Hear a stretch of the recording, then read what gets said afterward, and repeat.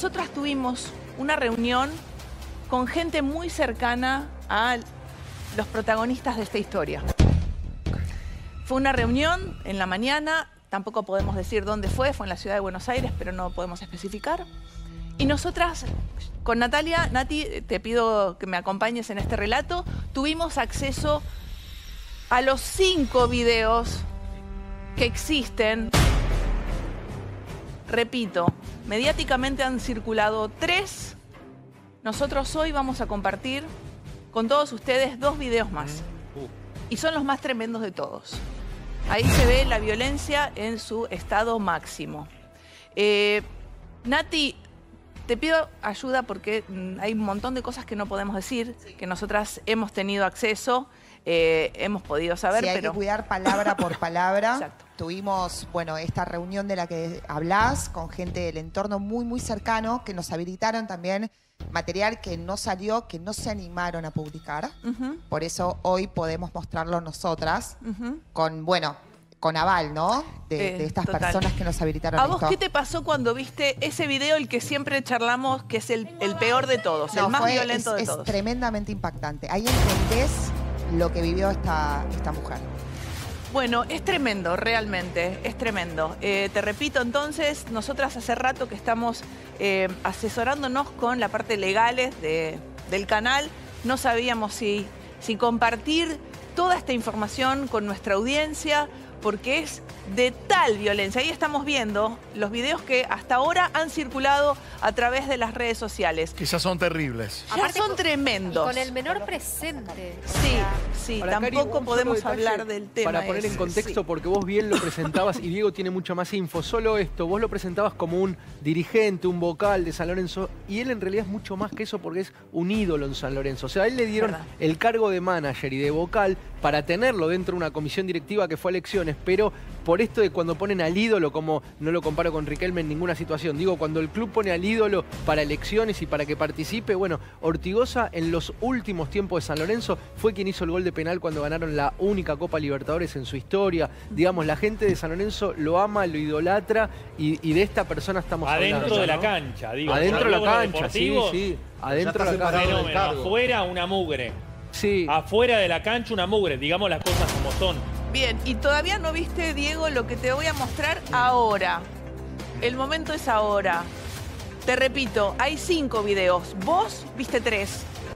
Te vamos a mostrar ahora. Vamos directo. Vamos ahora directo. Es eh, el material más violento que llegó a nuestras manos. La, la verdad es que no queríamos ni siquiera compartirlo porque es tan espeluznante que no sabíamos si hacerlo, cómo hacerlo.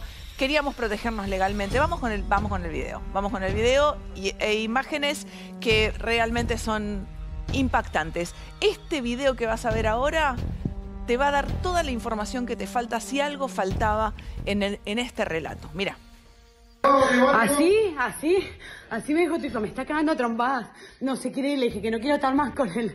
Me tiene cansada, me tiene cansada con su violencia, que se vaya. Que se Me tiene cansada, mira, mira, me está cagando palos. La boca reventada de esa mujer. Sangre en la boca tenía. Y él atrás, digamos, sin ocultar, sin negar, sin defenderse siquiera, este, de alguna manera, exactamente, de alguna increíble. manera haciéndose cargo de En el lo que primer estaba video, pasando. Karina, La con- boca reventada tiene esa mujer, fíjate vos. Con impunidad y sin importarle absolutamente nada. Porque se, da cuenta que lo está grabando y no le importa. En el primer video se ve también cómo acciona violentamente. Hay plano y contraplano, digo. Ahí, por suerte, habilitó dos celulares o lo que sea, porque también hay que decir que a la mujer golpeada no se le cree hasta que no presenta material. Sí. Esta mujer presenta plano y contraplano y después de ser golpeada, el hombre vuelve a una situación de calma como si nada pasase. Digo, había, por lo pronto, por lo que se ve, una habitualidad en esto. Sí, digo, no se consterna, no, no es que se rompe o se pone a llorar o dice discúlpame. No, no, este hombre está convencido de hacer lo que hace. Mm. Las reuniones, la reunión, perdón, que hemos tenido con Natalia eh, eh, Palmeiro, con el entorno de la denunciante, eh, en esa reunión nos contaron que el material estaba disperso por diferentes lugares. Avísame, Nati, no me quiero pasar nada de la información. Entonces fueron pasando los años y eh, la denunciante se hizo de esos videos, que ella ni los tenía en su celular, porque estamos hablando, eh, los había borrado. Eh, estamos hablando de muchos años de O sea, que violencia. por seguridad, ella lo que hacía es enviarle esos videos a gente de su confianza que guardaban esa información para Mi- cuando ella lo necesitara. Totalmente. Mirá lo que me hizo hoy. Send. Y así a diferentes amigas o personas cercanas a su entorno. Y de esta manera eh, le fueron llegando diferentes pendrives con información. Y eso fue lo que ella presentó a la justicia. Te preguntarás por qué no habla eh, Lucila, porque no, porque tiene una perimetral, una bozal legal. Bozal legal. Medida cautelar. legal, Una medida cautelar, Diego. Justamente para preservar a los, al hijo en común. Que tienen, o creo que son dos, Son dos. dos hijos. Es lo Bueno. que habitualmente se hace, Sí. no se invoca. Acá hay un debate en sí mismo, lógicamente no nos vamos a referir a ese tema, pero sí me parece valioso plantear una discusión que se dio, por lo menos en mi casa se dio. Digo, ¿por qué una mujer no tiene derecho a contar el, some- el sometimiento, digamos, los hechos de violencia a los que ha sido sometida, no durante un par de días, un Sí, par de meses? Totalmente. Estamos hablando de 10 años de violencia. Por lo menos 10 años de violencia. Tengo en mis manos la primera denuncia La primera que radica esta mujer. Diego, fue exactamente con, fe- con fecha. 2015. 2015. Septiembre 2015. Nueve años de denunciado. Sabemos que estas situaciones por lo general vienen de arrastre hasta que en un momento la mujer se anima a denunciar. Mm. Una década de violencia por lo menos a la que ha sido sometida esta mujer. Y la discusión es, está bien, hay menores, no se van a mencionar, no son parte de esta historia, es una historia entre dos adultos, Sí. colateralmente los menores, bueno, han sido víctimas de esto Sí. pero no tiene derecho una mujer a hacer público esto casi como una defensa. Ponele que en este caso es la mujer de Ortigosa, es un personaje público, pero ¿cuántas historias anónimas hay?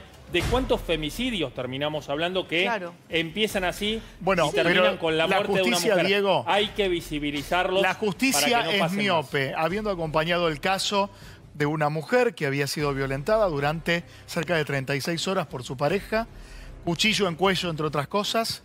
La misma justicia luego, con otro juzgado, la obligó a cumplimentar la Sí.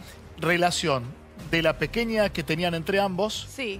y el agresor de ella. O sea, la justicia miope divide la situación que un agresivo, un violento, tiene con su pareja de la que el violento tiene con el hijo o hija. Algo más. Elena Hayton de Nolasco, que es una persona de mi altísimo respeto, Sí. porque creó la Oficina de Violencia Doméstica, en un momento le comenté el caso Galeano. ¿Se acuerdan? Sí. El caso Galeano. de la Corte Suprema. Exacto. Perdón. Y sí. Ya hay novedades con ese, ca- con ese caso que se lo comenté Bueno, a producción. y le pregunté por qué asesinada la madre, aparentemente por una asociación ilícita armada entre la suegra y este hombre, la pareja de Galeano, ¿por qué le daban los hijos a la guarda del supuesto asesino?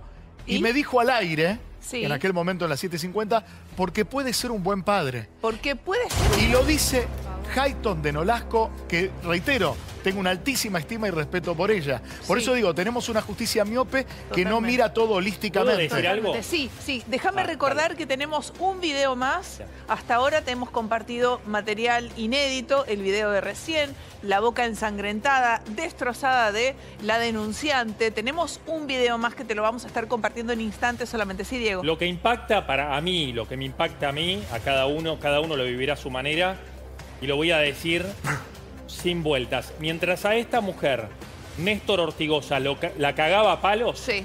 porque no le cabe otra palabra para los videos que ya vimos No. y lo que nos resta ver, a este tipo lo aplaudían Sí. por lo que hacía dentro de la cancha. Siguió siendo dirigente de un club de fútbol cuando, amigos, esto estaba, esta denuncia estaba radicada Sí. en el juzgado civil 102. Desde ya que San Lorenzo estaba al tanto de esto y sin embargo lo ha Bueno, sostenido igualmente lo dentro importante, y fuera de la lo importante es que a partir de ahora sí lo han apartado de su Sí. cargo, que es un avance. Tarde. Sí. Bueno, Tarde, lo, que a mi to- criterio. lo que no sé qué más tiene que ver la justicia para accionar de alguna manera. Le pregunto realmente al juez, a la jueza, no sé quién lleva adelante esto, al abogado le voy a preguntar. Exactamente. ¿Cómo Sabe. le va, doctor? ¿Qué dice? Bienvenido, ¿eh? ¿Qué, qué tal, A Karina? ver, eh, le, le pregunto de verdad, ¿qué más tiene que ver quien lleva adelante esta causa? ¿Usted vio el video de recién? Es gravísimo, es gravísimo. Y uno de los videos que pasaron, por lo menos no lo había visto en, otro, Sí. en ningún otro canal. La verdad que es, es- es- eh, las imágenes hablan por sí solas. Sí. eh, y me parece que este, este nivel de recortes, como hablaban ustedes, esto de decir, bueno, le pegó a la mujer, pero capaz que es un buen papá, esto es un disparate absoluto. Sí, y además, sí. ayer me llamaron del colegio, este, donde va este, uno de los niños, Sí. y hasta donde conozco, el, el mayor de los hijos sigue con Ortigosa. Sin- sin muchos datos de los menores. Por eso le pregunto, doctor, porque no podemos hablar de los menores, Sí, sí, sí. no queremos hacerlo. Eh, pero le quiero preguntar, ¿cómo es posible, digamos, si es capaz este señor, tal vez es un muy buen papá, no sabemos, pero sabemos de lo que es capaz. Karina, lo vemos ahí de- claramente en los videos. Definitivamente, una cosa es que vos puedas tener una discusión con tu pareja, este, lo- tu marido, son situaciones de toda habitualidad. Ahora, cuando pasamos a la violencia física, agresiones Sí, físicas, sí. con este, un rostro ensangrentado, con este- esto no, no tiene retorno tampoco para un buen papá, porque ahí, ahí no son solo testigos de violencia, son víctimas este, de la Bueno, la violencia. justicia no y- piensa así, y doctor. corte. Bueno, Vuelvo- hasta vuelvo acá, al hasta caso, acá, vuelvo- nos estamos sí. pasando, nos estamos pasando porque estamos hablando de lo que no tenemos que hablar. Yo sí, quiero Rojo. volver al mundo San Lorenzo que está mirando el programa y que está convulsionado y no paran de pasarme imágenes y noticias con respecto a cosas que decimos bien y algunas que me corrigen. Ellos me dicen que se sabía, algunos dicen esto se sabía, era Sí. Vox Populi en San Lorenzo, pero hasta la aparición de estos videos públicos nadie lo decía. Sí. Y otros dicen, mirá, y me mandan una foto que en octubre 2022, cuando fue la 22 de octubre 2022, la despedida que le hizo San Lorenzo Ortigosa, fue con su familia y con su mujer también y se mostraban Ay, muy digo. felices. Pero es y lo una que dicen locura, pero perdón, Pará, no eh, maten al no, no te mensajero, le estoy diciendo lo que dice el mundo San Lorenzo. Bueno, la lo que hizo el mundo de San Lorenzo entonces es una locura porque hay tantas mujeres que ante miles de personas se muestran como una Tal familia cual, feliz tal y lo que cual. pasa dentro de la casa Lo que es lo peor Ay, lo del que mundo. Tal cual, lo que digo es una pelea interna que tienen ellos que me dicen, algunos lo sabíamos, Bueno. otros lo suponíamos y me dicen, lo separaron por su labor como manager, como vocal Hasta recién ahora por estos videos. Estamos eh, impactadísimos. Seguramente vos has escuchado en los últimos días el caso que involucra al ídolo de San Lorenzo, el señor Néstor Ortigosa, también últimamente dirigente de fútbol, ahora apartado de sus cargos. Han empezado a circular en las redes soci- sociales diferentes videos en donde se lo puede ver eh, claramente en una situación de agresión extrema. Recién hace instantes solamente te mostramos un video al que tuvimos eh, acceso nosotros. Vemos a la denunciante con la boca llena de sangre, sus dientes ensangrentados y se lo puede ver claramente a él, a metros de la mujer que hace la denuncia. Vamos a compartirte ahora el último video que, bueno, también es tremendamente impactante. El señor Néstor Ortigosa maltratando a su exmujer. Mira. Ti mato, no, no, no, no, no. Puta! Io poi ti mato, ti mato. Allora non ti mato, poi ti mato, ti mato, dammi vuoi. Allora, poi ti mato, poi ti mato, eh. Ti mato, ti mato. Ti mato, domani ti mato, domani ti mato, eh. Ti mato, ti mato, ti mato. No sé, non ti mato. ¿Cuántas veces escuchaste que ese hombre le dijo te mato? Un montón. Todo el tiempo. Te Ya tendría que mato, estar preso. te mato. Apenas, fíjate lo fuerte que es este video, porque apenas dura la imagen y luego es lo que escuchamos. Y lo que escuchamos es una amenaza de muerte constante. Le dijo 10 veces te mato. Si me filmás te mato. En un Te hecho. mato. Fíjate que esta mujer, según su relato y la prueba que lleva la justicia, la acabamos de compartir con vos, es un infierno que vivió esta mina. Durante casi nueve años. Sí. Nueve años. Ahora la pregunta es, y se la hago al doctor Gallardo que está con nosotros. Este hombre, ¿de verdad puede ser custodio de alguien? Indudablemente que no, y yo creo que un fiscal de oficio ante estas imágenes, este, acá tenemos amenazas este, directas y además tenemos lesiones que las tenemos a la vista. Si esto todavía no es materia de investigación, un fiscal de oficio tiene que La, hacerlo. la- la Pero- idea, hay que ser brutal en esto. No me importan los manuales de estilo, de ética, de protocolo, nada. ¿Qué están esperando? ¿Que la maten?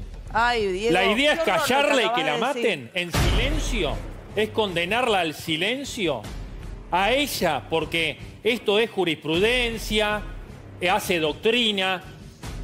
Que si hay menores, que se calle la boca la mujer, que la sigan cagando a palos y que no hable. No la vi. ¿Cuál- ¿Qué piden las agrupaciones feministas? Hay que ¿Pero por qué visibilizar. en las Desde todas las organizaciones se pide. Diego, no, justamente en defensa de ellas. Pero por- hay que Hablale a la visibilizar. justicia que es prebendaria y que es parte de un poder de ¿Qué este pide? país. Y bueno. que cobra y que no pagan impuestos a las ganancias y que se Ah, rascan los huevos. ¿qué es? Y que hay decenas de pibas que con una perimetral igual el homicida va y las Bueno, mata como una chica de Pilar. Ahora, una Digo, cosa, habla de una los cosa, poderes. una cosa. Ella tiene perimetral.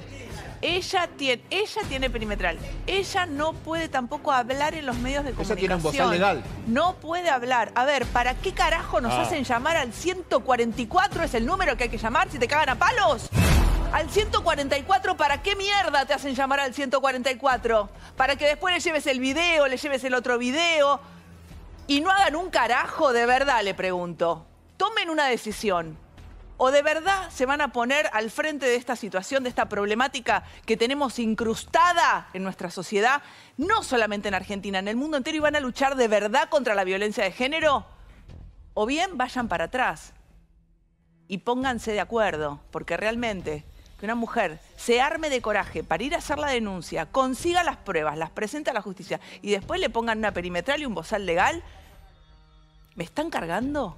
La están, a mí no, a ver, ¿la están cargando a ella? Se están cagando de risa de todas las mujeres asesinadas históricamente, de todas las mujeres cagadas a palos. Realmente yo estoy desorientada. ¿Quién carajo es el juez de esta causa, doctor Gallego? Sí, no, no, queda claro que esto se sabía y esta- este tipo de medidas en Pero contra ¿tiene de la víctima o para ¿Quién- que la víctima no acá? se pueda expresar, está claro hacia dónde se dirigen. Y evidentemente est- esta es una problema- problemática que lleva años, que se conocía, que era conocida por el juzgado y que se intentaba tapar. Pero mirá Yo la que- valentía de ella de grabar con él claro, atrás. si esto no sale a la luz con ustedes, probablemente todo Para seguía mí, como doctor nada. Gallego, Claro. es tal cual dijo mi compañero Diego Esteves. Diego, te banco mil. Están esperando que la mate. Claro, claro. Porque, si, a y si- y si la mata, ¿quién va a ser responsable? ¿Ortigosa o la justicia? Claro, Si sos ortigosa, si ¿Quién? sos un ídolo, si tenés plata, si tenés para pagarle a buenos abogados, rápidamente, ¿qué hacen? Cautelar. Eh, Te sentás con el abogado, Néstor, quédate tranquilo, negro. Ponemos una cautelar, están los pibes por medio, no habla más en ningún lado. Salió en dos noticieros a la mañana, al mediodía cautelar a todos, Claro. nadie habla. ¿Y sabes qué? Porque esto fue una conversación en producción y sé, Cari, perdóname que comete una infidencia. Cometela, Diego. Digo porque acá me parece que vale la pena decirlo. Acá hay una multa de 100 mil pesos para el que hable del tema en los medios, ¿ok? Yo, en lo particular, dije, La vamos a pagar la pago yo, la pago de mi sueldo. Es mucha plata para lo que gano. Pago los 100 mil pesos para poder hablar. 100 lucas por día hay que pagar por, por hablar de esto. ¿Sabes qué? Y me imagino mucha gente del otro lado que también debe estar diciendo, ¿sabes qué? Juntamos, ponemos un alias, pagamos la multa los días que sea necesario para hablar de esto. Y que con plata y con poder, porque el Claro. fútbol lógicamente que genera poder, porque hay vínculos políticos con los jueces, con todo. Todo eso. Esto no Listo, que no se perdona a nadie más, porque escondiendo a Ortigosa lo que haces es perjudicar a todas las mujeres, porque imagino muchas mujeres que deben pasar por esa situación y deben decir, si ella se animó, yo también, pero si no se puede hablar, van a decir, Totalmente. si ella, que es la mujer de Ortigosa, no puede, ¿qué me queda a mí? Que ¿Cuántas soy nadie? personas que hoy están, cuántas mujeres cagadas a palos que están pensando, tratando de, de juntar sus pedazos para decir voy a hacer la denuncia Sí. o no voy a hacer la denuncia?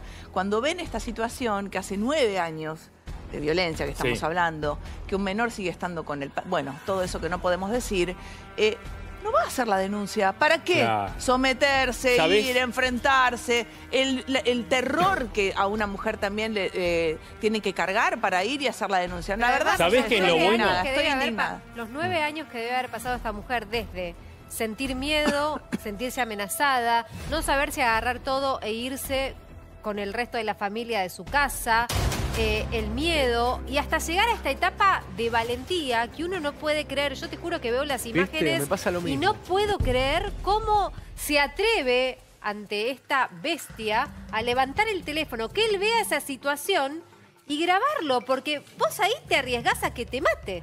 Porque no sabés cómo puede reaccionar la otra persona. Que da la sensación que Lucía está, Nueve años realmente de, de ella. de Claro. infierno, pobre Y mujer. da la Pero además sensación que está jugada. A Que ver, dice que ¿cómo? me pase, que da la sensación en ese video que está jugada, que ya está, matame si me tenés que matar. Yo voy a grabar esto y dejarlo para poder defenderme como si fuese una Dani, locura ¿vos qué que una mujer tenga que llegar a esto No, para tremendo. poder defenderse. Dani. Es que estos videos lo que muestran es la valentía que ella tiene para poder hacerlo. Más allá de lo que dice Damián, Sí. que es verdad, dice, llega un momento que el límite lo pierde, ya Totalmente. perdés la noción de la realidad. le pregunto, doctor Gallego, gracias por acompañarnos hoy, porque seguramente usted nos puede, con su tranquilidad y su conocimiento, ilustrar un poco más.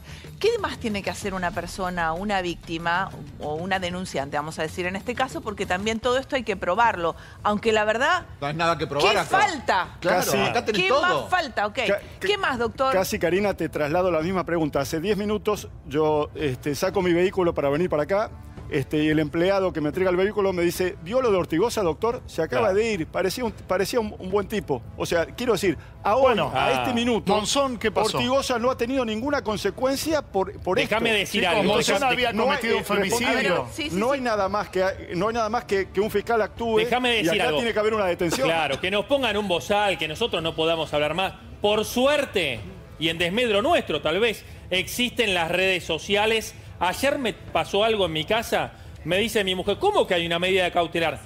Dame las imágenes que las filtro ya. A la ver, información, mando los videos Dieguito, a los grupos. Sí, Dieguito, contá Sí. todo Bueno. exactamente cómo fue. Mi mujer en mi casa le muestro algunos videos que tenía, me se horrorizó, hincha de San Lorenzo. Toda la familia de mi mujer son 50.000. Sí. Todos fanáticos de San Lorenzo, mi cuñado, todo. Claro, fanáticos también de Ortigosa. Bueno, claramente. fanático, Lit, se les cayó el ídolo al minuto. Pero, ¿sabes Me qué? dice mi mujer, ¿cómo que no lo puede con-?" Y no, hay una medida cautelar, es un problema, alegan que hay menos. No, no, te digo, se, se salió de la vaina. Me dice, dame los videos, los empieza a hacer viral en distintos grupos. Ella es nutricionista, se lo manda a los pacientes. Se hizo una cosa viral en un segundo porque nadie resiste ver estas imágenes No. y que no te hierva la sangre y diga cómo este tipo lo aplauden, sigue siendo un ídolo. Ya está, cancélenlo. Por lo menos digo, lamentablemente hay que apelar a la justicia mediática, a la justicia social, porque a veces la justicia y muchas veces, Sí, no siempre, deja bastante que decir. Se hizo viral al punto que había pacientes esperando a ser atendidos que empezaron a reaccionar. Mirá lo que es esto, el video, una mujer enloquecida con los videos de Ortigosa y mi mujer, ¿qué pasó? Me llegó el video, le había llegado por otra paciente. otro lado. Porque ella se lo había mandado, se hizo viral en un minuto. Digo, si algo tiene de bueno esta era es que, aunque nos callen a nosotros, periodistas profesionales, Sí. A la gente no la van a callar y no la van a parar, y menos con estos temas que generan Sí. una sensibilidad y malo, enhorabuena. ¿eh? hay algo Acá malo no en hay esta gris. época, que la A ver. suma de todas nuestras indignaciones nos sirve y voy a datos, no opiniones, Mm. datos de que en seis meses, el 8 de marzo antes del Día de la Mujer, Sí. cerraron el Salón de las Mujeres. Algo simbólico, chiquitito. El Ministerio de la Mujer tan criticado, vapuleado, como si se pudiera cambiar una actitud de violencia cultural histórica que viene de la colonización, se pudiera cambiar en tres días y más allá de las incorrecciones o posibles hechos de corrupción que haya habido allí, lo transformaron en una subsecretaría de protección contra violencia de género. ¿Cuándo desapareció esta subsecretaría? En junio. Congelamiento presupuestarios, eliminación del plan acompañar. ¿Por qué? Porque una mujer ahora tiene que ir golpeada, chorreando sangre y con la denuncia para que el Estado te dé una Sí. migaja de guita. Para que, digo esto porque al Estado, en este el. Estado no es mi ley. Ok. El Estado somos todos, le importa un huevo la mujer golpeada Perfecto. hoy. Me estás dando el marco perfecto para decirte que con todo lo que sí existía antes, Sí. con todo lo que ahora ya no existe, pero Sí. que antes existía, también esta mujer sigue sin una resolución. ¿Me entendés lo que te digo? Claro. A claro, partir no. de lo que vos estás diciendo, Sí. esto empeora la situación de una Seguro. manera demencial. Pero está buena tu ¿entendés? aclaración, Cari, porque con todo lo que Con existía lo alguien que existía, antes, igual- no significa que mágicamente No. los hombres golpeadores dejan de golpear. No, pero No. le quiero pedir algo Jamás puntualmente a la producción de a la tarde. Natalia, escúchame bien. El video que nosotros, lo- cuando nosotras lo vimos sin la marca de agua, sin que diga la tarde, era más impactante. ¿Lo podemos ver Mm. sin la marca de agua? Ok, ahí está. El audio, el audio, el audio El es audio, por favor, el audio. Que se vaya, que se vaya. Mira, mira, me está cagando palos. Así, así, así me dijo tu hijo, me está cagando a trompadas. No se quiere ir, le dije que no quiero estar más con él. Me tiene cansada, me tiene cansada con su violencia, que se vaya, que se vaya. Ahí está. Me tiene cansada, mira, mira.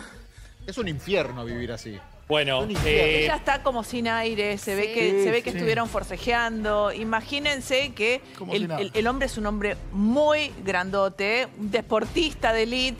Eh, imagínense la fuerza. eh, eh, bueno, eh, Lu- Lucila es una mujer delgada, es una mujer eh, de contextura mediana, pequeña. Eh, Perdón, y Imagínense que no, de- definitivamente es desproporcionada esa, esa relación. Y Eh, si vos fatal. mostrás Sí, este video solo, capaz que hay un colgado del catre o un HDP que diga, no, se golpeó ella y subió el video con él atrás. Es lo que le dice está él. lleno. Él de atrás le estos dice que eso. perdonan, ¿no? Si se escucha- Ahora, Sí. está el video donde No. le pega un viandazo en la cara. Pero hay Esperá. cinco videos. Otro que ya le pega está. un Esperá, pelotazo. quiero volver a pedir, quiero volver a pedir el otro video que pusimos, que es inédito, que solamente lo hemos pasado aquí en a la tarde, en donde se ve poco, pero se escucha un Sí, montón. Pero, ¿eh? Cari, faltaría una cosita, ver mira, eso, no sí. te vayas de este. Mirá la actitud de él, porque lo- viendo ella te saca lo peor de uno. Él está mirando una película, o Sí, sea, está tomando tomando mate, mate, no tomando le mate. importa Bueno, nada lo que está pasando. Prepárate Está viendo para un la gran partido de Alberto. fútbol.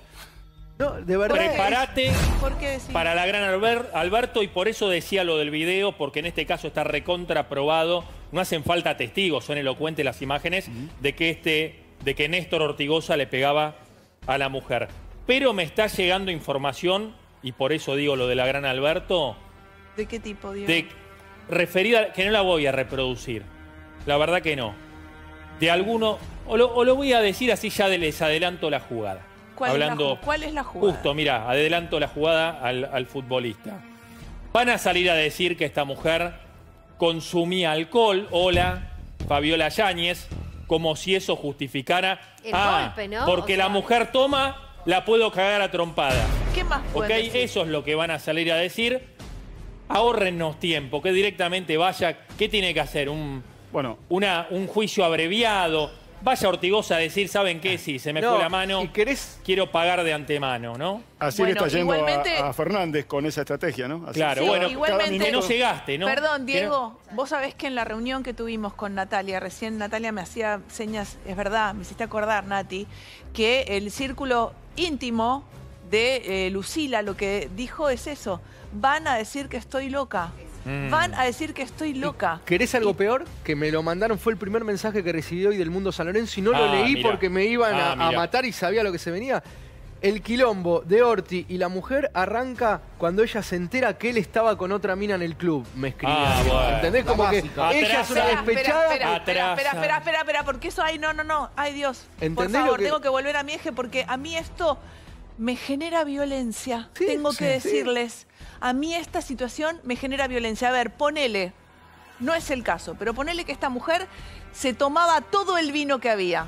¿Hay alguien más vulnerable que un borracho? Ponele. No es el caso, repito. ¿Hay alguien más vulnerable que un borracho? No se puede mantener en pie. ¿Que lo vas a cagar a trompadas por eso? Justamente ¿Lo vas obliga. a cagar a trompadas por Es eso? una locura. Al contrario, lo cuidás y lo curás. Y si podés. estuviese el hombre con una con otra mujer, ponele.